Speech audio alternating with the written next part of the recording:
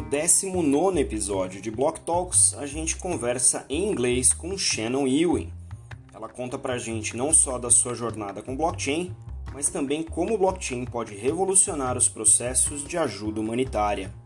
Eu sou Maurício Magaldi e esse é o Block Drops, o primeiro podcast em português sobre blockchain para negócios.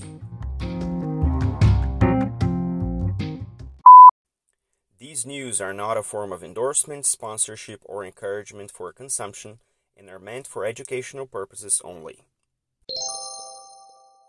All right, everybody. So I'm here today with Shannon Ewing, and she's going to tell us who she is and what she does with blockchain. Hi, Shannon. Thanks for being with us today. Oh, thank you so much for having me. It's a pleasure to be here. I, for lack of a better term, call myself a blockchain humanitarian. My background's in international development and humanitarian aid, and I worked in places like Haiti after the earthquake. And I've been working with different kinds of technologies around the world, trying to bring in telework markets to places that don't have great job resources, different kinds of e learning to places that are still uh, adopting computers. I'm dating myself now because that dates back about 15 years but I am really excited about what blockchain and decentralized technologies are going to do for our neighbors and emerging markets. There's so much about this technology that's going to add freedom and more choice, more options for mobility, more um, you know financial inclusion.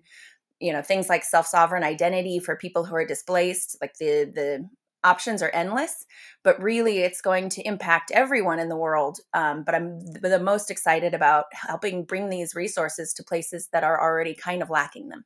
You know, this is a very first for us here with the podcast as we brought, you know, people from traditional industries such as financial services, public sector, technology. I think it's the first time we have someone who works in this humanitarian space.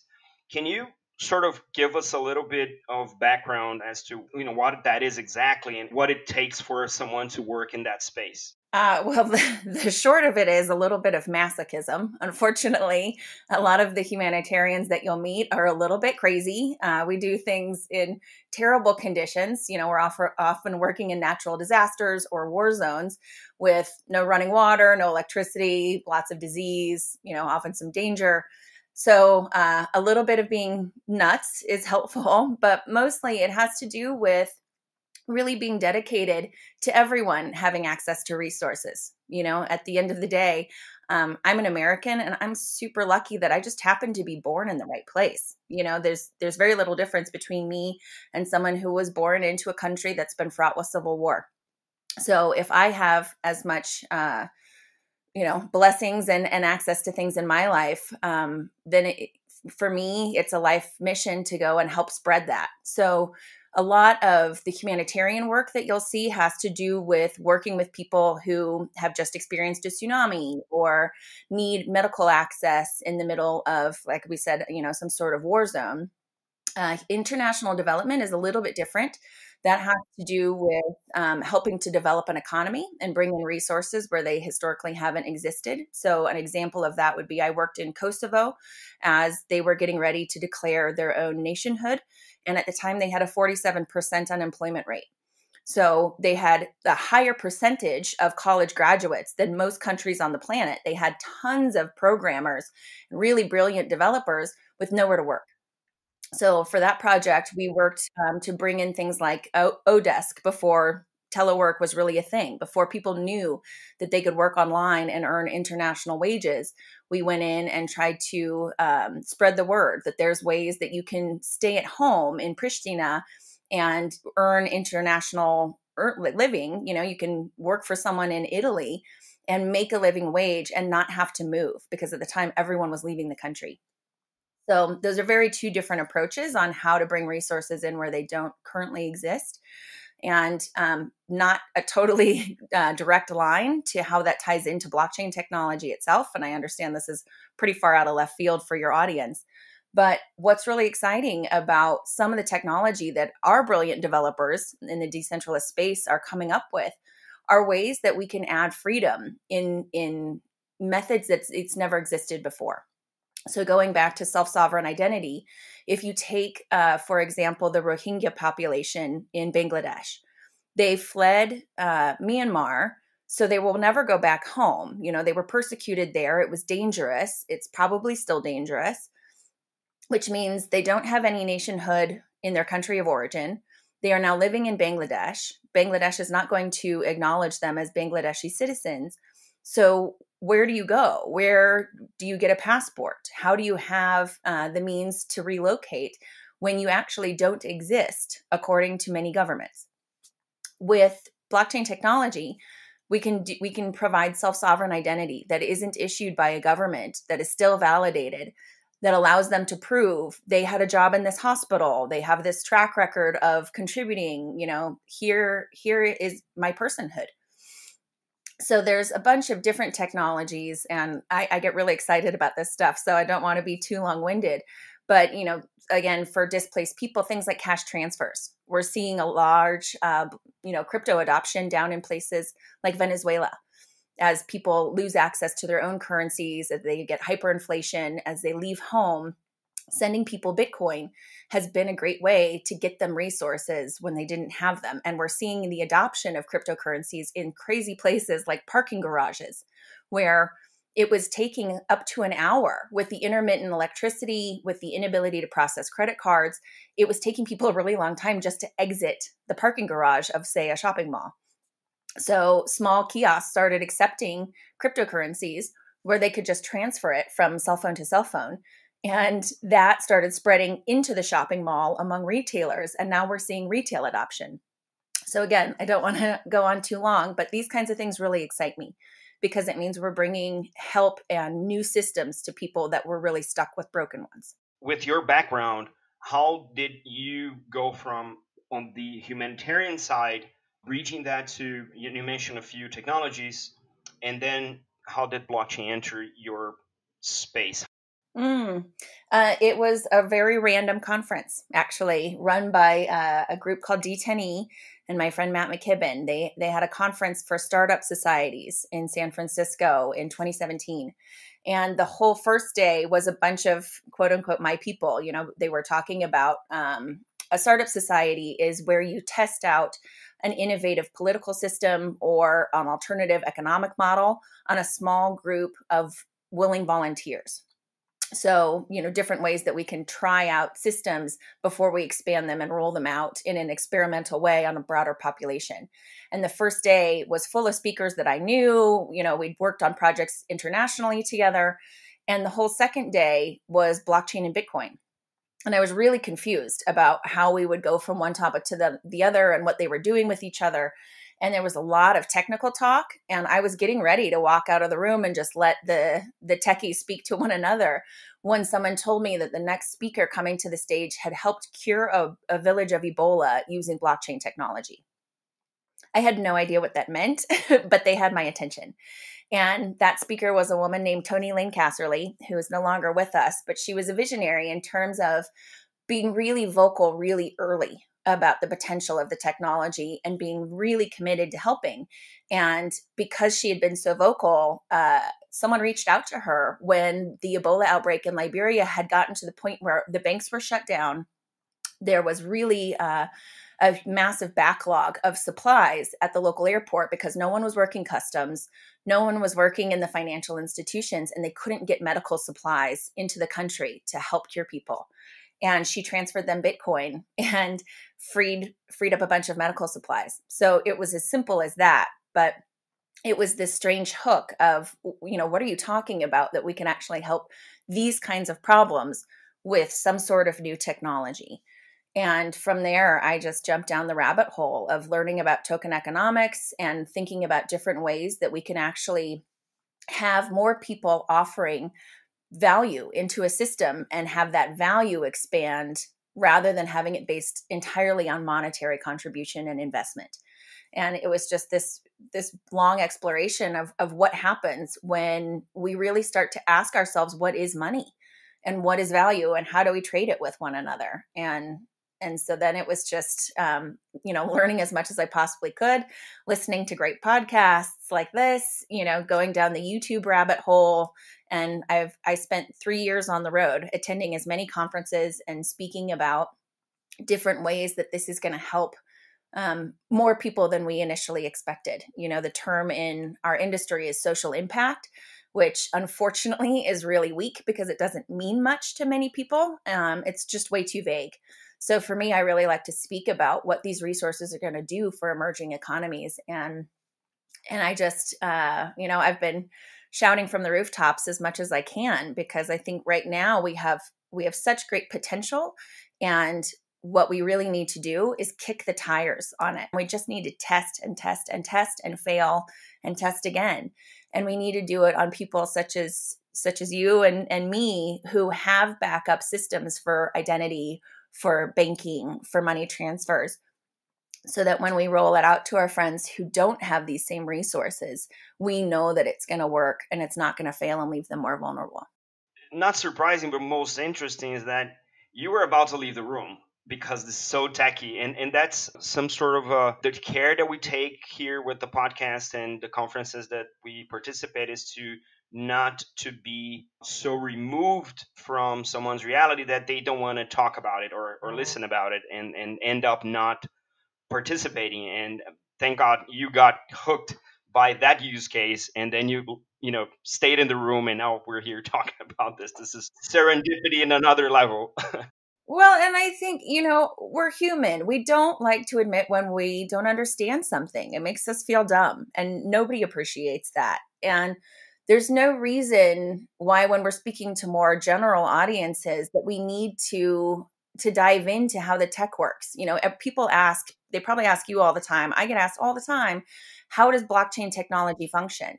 And frankly unless you're you know an encryptionist or you know you're a developer like none of that matters you don't understand necessarily the uh, you know alternating current in your walls that is turning your lights on you just know that when you flip the switch things that you want to have happen happen people don't need to understand how blockchain technology functions they need to know that they can send money to their family overseas for 6 cents versus 60 bucks you know? Like they, they just need to know what's the use case and why it matters. And so it's our job to speak in a lot of anal- analogies and make it as digestible as possible. And it's one of the reasons i love your podcast is it's it's so easy for people to understand and you're speaking directly to them and not over their heads. Thanks for that. Yeah well, well that's uh, sort of part of the mission right but uh, one thing that i really wanted to talk to you about and now that i know a little bit more about your journey with this and the industry space you're operating. What are and you've you've kind of glanced over, uh, but what are say the top three cases on the humanitarian space where you see blockchain bringing most value? You mentioned sort of monetary freedom, which is I think one that we can elaborate more. You mentioned identity and you mentioned the Ebola case, which is sort of monetary, but maybe not. Are these the top three? Are there any others that you think are okay? So this is this can only happen in this particular fragile humanitarian situation because of a blockchain solution has been thought specifically for this. Are there any cases that you can think of and, and share with us that we can say, well, this can only happen because this is running on a blockchain? Mm, that's a really interesting question. I think one of the things that we're going to see is some interesting leapfrogging where we're actually going to learn from emerging economies in quote unquote developed economies. Um, just as we had to, you know, lay a bunch of telephone wire in the Western world, and then places like, you know, the continent of Africa just jumped ahead and all had cell phones without going through all of that.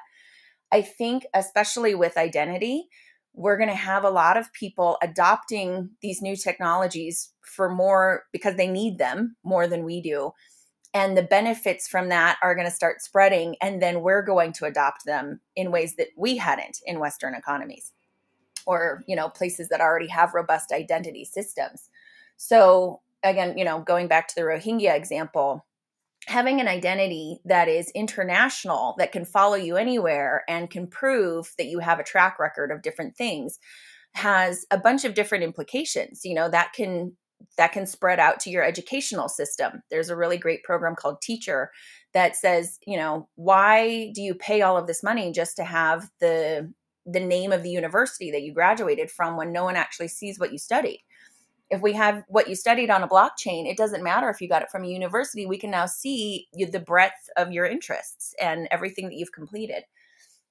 I think those kinds of things might start in developing economies and then spread kind of outwards from there. So I don't know if there's anything that's actually going to be only for humanitarian aid, um, save things like the UNICEF program they have put um, identities onto blockchain technology in places like Syria, where they're using uh, retinal scans to ensure that people aren't getting, like, quote unquote, double dipping in their uh, humanitarian aid distributions.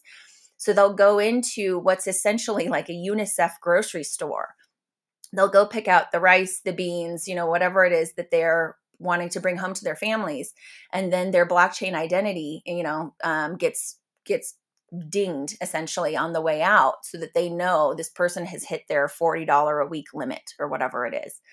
So that's one case that would be solely humanitarian. Um, but, you know, again, we can quickly think of different ways that that would end up um, spreading out into the Western world as well. You know, I think we're already working on different ways where your cell phone is going to be your only identity soon. It's going to have your driver's license on it, it's going to have all of your health records and I personally hope that we use things like blockchain for that because, uh, you know, as we've seen in in Equifax and a, a, billion other instances, there's just way too much data insecurity right now. So that's a long circumvented uh, answer to your question. I don't I don't know that there's only a case that would affect humanitarian needs, but I do see quite a few in which it starts in humanitarian environments and then spreads back out. A particular subject that is of very concern in most industries, and it, it shouldn't be different in the humanitarian space, with, which is data privacy, data ownership. When you mention about doing a retinal scan and checking that hash against the hash on a blockchain, confirming that that person still have balances for the week, you can't change the retina, a biometry of someone. And when when that is the case, you, you can't change that in the blockchain either because that's one of the characteristics of blockchain is immutability. So being those populations in fragile situation and having their biometrical metadata being stored in a blockchain isn't this of concern for them to be exposed even if it's the access is controlled and there's you know of course some strong authentication and identity management around this the fact that we're using biometrical metadata in particular situations, especially for fragile populations, isn't this of concern for those who are involved or even for the populations themselves? 100%. That is, you hit the nail on the head. There is a there's a big moral dilemma in that for me around the fact that you know as you said these are not passwords this is not something that you can change later and like revoke access to you know? This organization now has your retina on file and we're dealing with populations that in certain individuals they're not digitally literate. So if we're dealing with somebody who doesn't entirely understand what you're doing and you're you're holding out the carrot of humanitarian aid and then saying you need to provide me with your biometrics as a means to getting that and they don't totally understand the implications of that or maybe they do understand the implications but they feel like they have to provide it to you in order to feed their family. You've now set up a very morally complicated situation and i had a, a I had an opportunity to go help the Rohingya a couple of years ago, and it's a, it's a, an issue that's really close to my heart. And I, I was so excited to be able to go and help try to bring resources to the population. And in looking at it deeper, I recognized that you know until we are really really confident on the privacy and the strength of the platform and its unhackability you know like we need to make sure that this thing is so secure it is airtight because if if you end up with a breach, you have now provided really personal information, possibly to the people who pros- persecuted them in the first place, like the reason that they ran. You could now open this all up to those same, you know, those same groups.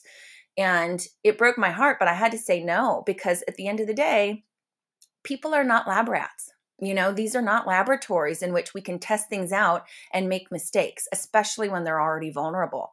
And, you know, as as you mentioned, data privacy is a really big problem right now and we're still you know, I think we're infants when it comes to digital privacy. We're just tottering around making a bunch of mistakes. And that opens up a whole big swarm of problems. That's one of the things that when we initially started off with the podcast, one of the use cases that came up was your health record on a blockchain to facilitate data sharing. You still own your data, but you can share that with your doctor, with the hospital where you need to go, or in and one of the things that we discussed was okay so now if uh, i have pre-existing conditions and then the regulations change and, and that was sort of on the verge of the uh, affordable care act and all that stuff and one of the big discussions were okay so now your insurance company has on a blockchain an immutable record that you had pre-existing conditions. There's no way in the world you're going to run away from having you know access premium because now that's written on a blockchain and you gave access to them because you needed the plan right? Of course it's a more civilized situation because we're talking about western regular civilization population that are not exposed to other threats other than this particular ones off of the government. But that also speaks to the same situation albeit a little bit uh, more radical when you when you're talking about this vulnerable populations that are fleeing from home and they have nowhere to go and they don't even uh, have, a, as you mentioned, a, a backup uh, identity systems that you know can tell who they are for whoever else is asking. So I think it's in the very same problem space, albeit with different and more sort of aggressive implications when you're talking about Western civilization and people who are fleeing from civil wars and stuff like that. So uh, you know, when we're talking about blockchain, because the immutable nature of the system and the data sitting on it, the design has to be not only how we solve the original problem, is how we don't create other problems that might be unsolvable later because now things are immutable. Exactly. Exactly. And it's a big problem for all of us. You know, the the Equifax hack a couple of years ago exposed people's, you know, like deepest identity markers in terms of a Western civilization. You know, in the US, we have social security numbers. And once you have access to that, it was really easy for people to take out credit cards in other people's names. And, you know, there was all of these implications that came from it. And that, frankly, came from mismanagement. You know, uh, in, in Argentina, the Equifax login for their database was literally password and admin. Like they had just never updated their their security systems. So if we're not paying attention to this stuff really carefully, you know, the the implications are pretty bad. I mean, I don't know if you watched the Ledger hack that happened uh, a couple of weeks ago, but I think it was like 700,000 people's data got released. And these are people who already work in decentralized technologies who should absolutely be paying attention and and know better. And and you know it's not that they they chose this obviously they were doing everything that they could to keep the data private but we don't know where the back door is until somebody finds it and you hope that you find it first but uh, you know the implications are huge and there's the I, I, I don't want to say threat, but the evolution of computer systems towards quantum computing could end up putting more pressure on cryptography. And when we talk about decentralized systems, cryptography is the real technological backbone to them and we're talking about quantum computing that can do you know stuff i don't mean a billion times fold right in comparison to what we can do today these are yet another layer of concern when we're talking about data breaches and privacy and decentralized systems because now we don't know how big of a threat this could end up being if we have the legacy, you know, in quotes, now legacy blockchain uh, in face of quantum hacking, right? Exactly. And now we've opened up a whole hornet's nest that we didn't even foresee. I don't know if it's open to to naming names, but there's a couple of people who are doing really great work in the data privacy space, including um, my friends Brittany Kaiser and Joe Toscano, that are working in different ways about you know how can we first educate people just so they're even thinking about these things. You know, my first role when I entered the the blockchain space was with a company called Presearch, which is a decentralized search engine. So they're, they they operate on an ERC20 token and and work like a private Google that rewards you for creating, you know, the searches that you do on the platform. And uh, one of the things that, that I found when I was just, you know, moving around the space was, you know, talking to people about how much their privacy is being used against them, you know, how much their data is being used against them in this space and their privacy is being invaded. Um, even people in the in the blockchain space would tell me I love using 100% Google products because they're so convenient and I don't care that they're selling my information. Or I'll accept that they're selling my information because I'm lazy, basically, you know, and and I think it's it's up to it's up to us as a community to educate each other on what happens when we put all of our information out there and we can't pull it back. And that's one of the things again, we're kind of in our infancy when it comes to digital literacy about you know, the internet is forever. You think that you can erase things, but we're finding out in really challenging ways that that's not the case. And, you know, podcasts and speaking to people, you know, I think you're doing a huge service right right now in just letting people um, start to explore like what does it mean when i'm putting my data out there because you are completely right once we start putting these things on blockchains um, we don't know what happens 30 years down the road in the position that we're in, even if we don't know the answers to these, but to ask the hard questions in due time, I think is of responsibility that we do so, right? Because uh, then if, if we don't, then who else will? And we have a platform, we speak to qualified audiences that might not be thinking about this, but they are in positions of uh, defining things and making decisions that impact other people, uh, and especially in vulnerable places. I think it's of our own responsibility to do so. And I'm glad we're having this conversation because this is one of the things that I think uh, we don't think about or don't discuss about so much. So yeah, thanks thanks for, for bringing that up. Now I want to just uh, shift a little bit and um, pick your brain on in your industry. What are the potential use cases that we haven't seen yet that you think would be that would benefit from having it lay on a blockchain or have a blockchain as part of the backbone?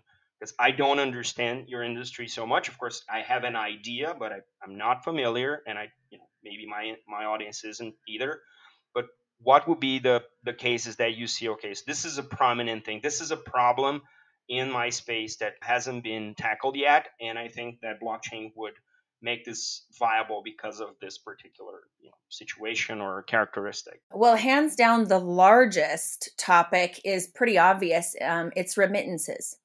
So I think you know I haven't I haven't looked at the most recent numbers, but remittances are something like a trillion dollar economy each year of movement of, of funds uh, around the country or around the world. I'm so sorry the way that that currently happens is i mean there, there's a, a, trillion ways in which it happens but it's it's clunky you know? If you use traditional systems or formal systems you're looking at 30% fees through platforms like western union.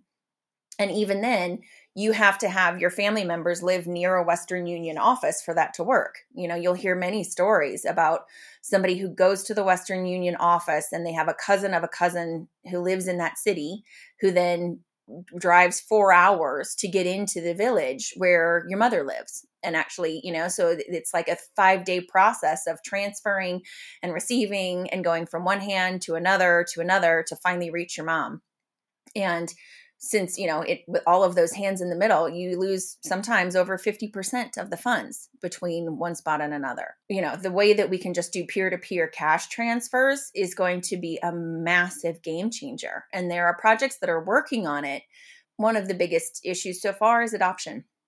You know how do we let people know that this works? How do we make it really easy? How you know the whole crypto community is working on ways that you don't have to exit back out of crypto and into fiat so, whoever figures out the remittance market is going to change the world. Identity is really interesting. I think voting is going to be really great on a, with blockchain technologies. Something that I'm interested in for my own benefit in in the West, you know, and in America in particular, is something called uh, liquid democracy, where we can actually vote on all of the initiatives rather than having representational uh, democracy for example, where I'm from, um, I'm from a state called Colorado, and there are essentially four people representing our entire state. And there's no way that those people are going to think the same way that I do about the environment, about the economy, about healthcare.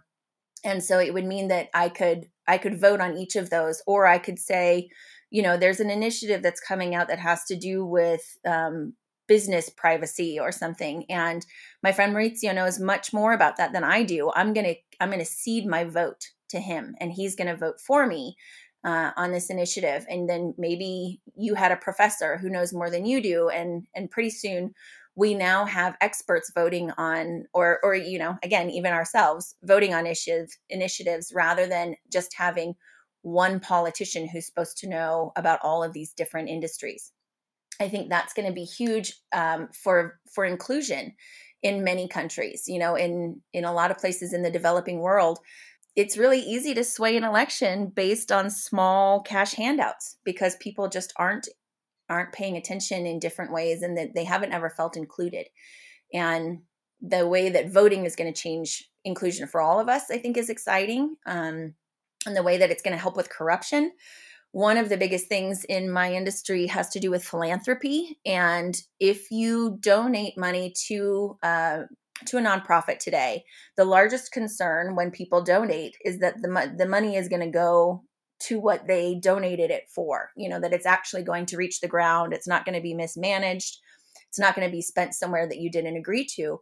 And when you have um, philanthropy through smart contracts, you can do something for example, build an orphanage. And rather than giving a group $100,000 and just hoping that they spend that money wisely, you can release the first $10,000 to go get the permits.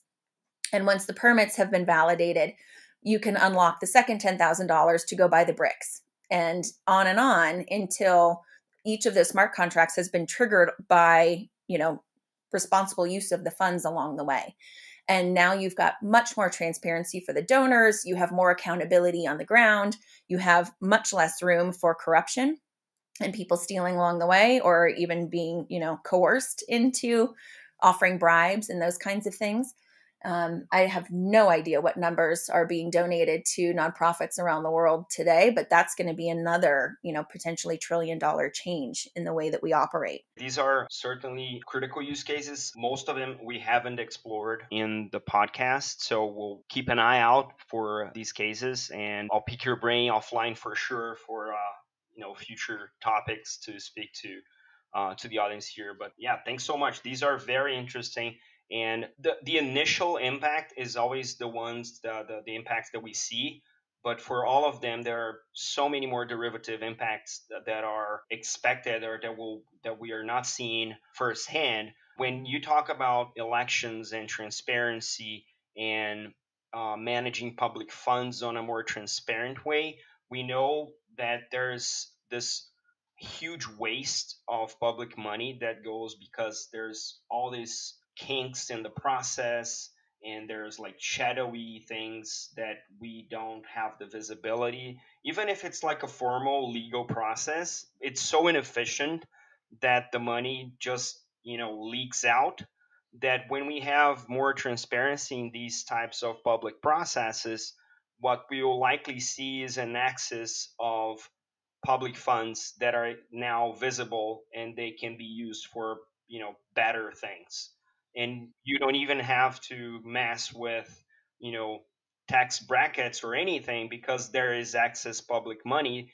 It just gets you know better used and better managed that you don't have to just pile up on you know tax on people to achieve what you were doing before. You were achieving much more. So i don't have the expectation that these things are going to happen overnight because that means that we're messing with incumbents who might be benefiting from the current situation. So the status quo is always a big problem for these massive transparency changes. But the benefits are so overwhelming that I think that at some point we'll have critical mass enough that will tell us, okay, this is the way to go because we're just not not fulfilling our you know mission if we don't do so. So yeah, here's here's hoping to that. Man, re- recording this from the United States in the beginning of 2021 and the mess that we just watched happen in our elections that quite frankly we we will probably never know. As a population, we will never know if the election was tampered with or if it was straightforward or what happened. And listening to you say that now, like I that world can't come soon enough as far as I'm concerned. You know, that it's it's going to make such a massive difference for all of us. So cheers to that. For sure. So um, I, I think we should we should wrap it up this uh, this episode, and I'm, I'm I'm excited to to have to host you for you know a, a, new one when we see some some of these cases develop. Is there any particular parting words for our audience you wanna you wanna leave us? Uh, I would just encourage people to keep trying and failing and trying and failing again this technology is going to make such a difference for people around the world and we just need to keep experimenting so that we learn more and we grow it. And you know we've had we've had bitcoin for a dozen years now and we just keep waiting for the massive adoption and we we get that through trying and failing and then failing better so support your local startups, you know, test things out, use you know products that are in beta, contribute to GitHub and and different platforms that are that are doing their best you know different you know go to hackathons and and even if you're not a developer yourself there's tons of ways that we can contribute to these teams that are creating the products of the future and we only get there by putting wind at their backs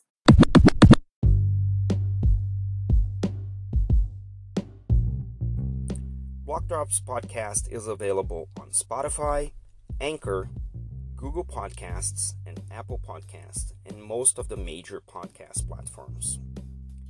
You can contact us by email on blockdropspodcast at gmail.com, on Instagram at blockdropspodcast, and on Twitter at blockdropspod.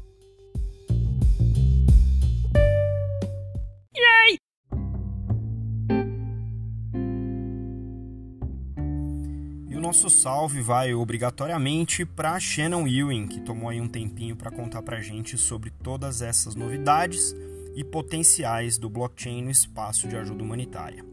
A gente fica por aqui, até a próxima, tchau.